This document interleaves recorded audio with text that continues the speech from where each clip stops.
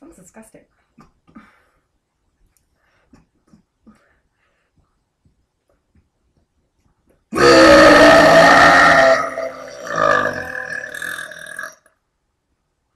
It's pretty good.